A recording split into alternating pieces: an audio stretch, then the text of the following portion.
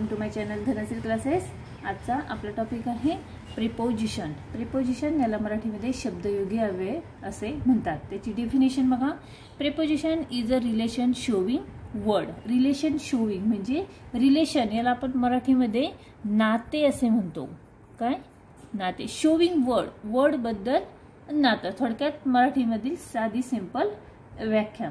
आता बघा in a sentence it express the relation between subject and object relation कुणाचं दाखवतं? सब्जेक्ट आणि ऑब्जेक्ट म्हणजे नाऊन किंवा प्रोनाऊन बद्दल रिलेशन दाखवतं. आता रिलेशन दाखवतं म्हणजे नेमकं काय? तर बघा सम प्रिपोजिशन्स आर इथे एक्झाम्पल्स दिलेले आहेत. In on at to with of from seize beside over before below etcetera या प्रकारची एक्झाम्पल्स बघा इथे पिक्चर्सनुसार आपण ही प्रिपोजिशन अगोदर समजून घेऊया. बघा शी इज अ गर्ल आणि त्या गर्लच्या हातामध्ये काय आहे? काईट आहे. The kite is over girl head the kite is over the girl's head kite कुठे आहे? त्या गर्ल्सच्या डोक्याच्या वरती. मग काईट कुठे आहे? आपल्याला पोझिशन दाखवली. काईट कुठे आहे? डोक्याच्या वरती म्हणजे ओव्हर ओव्हर काय झालं? प्रेपोजिशन झालं. ठीक आहे? हे बघा. ओव्हर त्यानंतर बॉल हा बॉल कुठे आहे? टेबलच्या खाली आहे. म्हणजे the ball is under the table ball कुठे आहे? टेबलच्या खाली आहे. अंडर हा बॉल हा बॉल कुठे आहे? बॉक्सच्या आतमध्ये म्हणजे in the ball is in the box position प्रत्येक नाऊन किंवा प्रोनाऊनची काय दाखवते इथे? पोजिशन दाखवते. समजते रिलेशन शोईंग नाऊन किंवा प्रोनाऊन बद्दल पोझिशन दाखवते. आता कॅट कॅट कुठे आहे? चेअरच्या वरती आहे. सॉरी कॅट नाही डॉग आहे. डॉग कुठे आहे? चेअरच्या वरती आहे. The dog is on the chair आता इकडे बघा. The kite is behind boy's back kite कुठं आहे? बॉयच्या मागे आहे. बिहाइंड ठीक आहे? Behind the behind back next the dog dog कुठे आहे? बसच्या पुढे आहे in front the dog is in front of the bus next बघा. ही कॅट लॅपटॉपच्या जवळ आहे. म्हणजे कुठे आहे? Near the cat is near the laptop समजते? पोझिशन कशा पद्धतीने ओळखायची समजते? त्यानंतर नेक्स्ट आहे. The birds are below the cloud birds are below below हे काय झालं? प्रेपोजिशन झालं. नेक्स्ट आहे. The fan is about the child fan कुठे आहे? चाइल्डच्या वरती आहे आणि चाइल्ड कुठे आहे? फॅनच्या खाली आहे. The fan is above the child above above काय होईल ते प्रेपोजिशन होईल.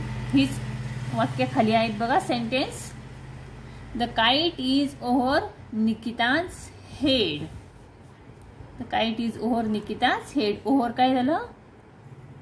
Preposition the ball is under the table under preposition the ball is in the box इथे प्रत्येक सेंटेन्समध्ये बघा पोजिशन दाखवली आहे म्हणजे जागा दाखवली आहे नाऊन किंवा प्रोनाऊनची ठीक आहे? सब्जेक्ट किंवा ऑब्जेक्टची इथे जागा दाखवलेली आहे म्हणजे पोजिशन दाखवली आहे. यालाच प्रेपोजिशन म्हणजे द रिलेशन शोविंग वर्ड असे म्हणतात.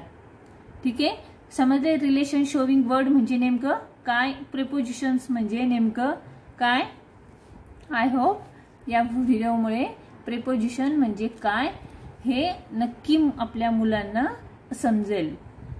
आणि आपल्या मुलांचा घरी लॉकडाऊनमध्ये हा अभ्यास घेण्यासाठी हा व्हिडिओ नक्की हेल्पफुल होईल. तुम्ही धनश्री क्लासेसच्या प्लेलिस्टमध्ये ग्रामरच्या प्लेलिस्टमध्ये जाऊन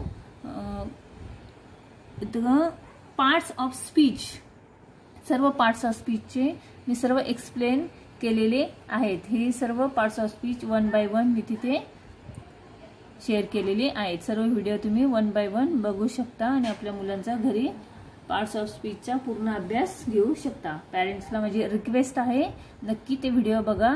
अगदी मराठीमध्ये साध्या सरळ सोप्या भाषेमध्ये मी हे सर्व व्हिडिओ तयार केलेले आहेत अपलोड केलेले आहेत. नक्की बघा आपल्या मुलांना पार्ट्स ऑफ स्पीच हा जो टॉपिक आहे हा समजवण्यासाठी हे व्हिडिओ नक्की हेल्पफुल होतील. ठीक आहे? आजचा व्हिडिओ समजला? प्रिपोजिशन समजला? आय होप हा व्हिडिओ नक्की समजला असेल आवडला असेल. व्हिडिओ आवडला असेल तर लाईक करा शेअर करा. आणि हो जर तुम्ही या चॅनलवर नवीन असाल तर चॅनल नक्की सबस्क्राईब करा. आणि हो बेल आयकॉन नक्की प्रेस करा. त्यामुळे मी जी वन बाय वन व्हिडिओ इथे अपलोड करत असते त्याचे नोटिफिकेशन तुम्हाला लगेच समजेल. ठीक आहे? त्यानंतर इथे एक्सरसाइज पण आहेत खाली. रिलेशन प्रेपोजिशनच्या ह्या अगोदरच सॉल्व केलं आहे. त्याचे स्क्रीनशॉट तुम्ही घेऊ शकता. ठीक आहे? या पद्धतीने मुलांना आपण एक्सरसाइज देऊ शकतो आणि त्यांचा घरी अभ्यास देखील घेऊ शकतो. ठीक आहे? व्हिडिओ आवडला असेल तर लाईक करा शेअर करा. आणि हो चॅनल नक्की सबस्क्राईब करा व्हिडिओ बघितल्याबद्दल. धन्यवाद.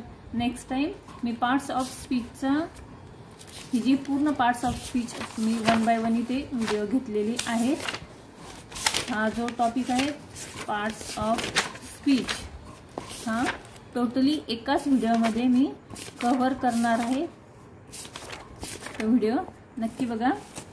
Parts of speech the word family ठीक आहे?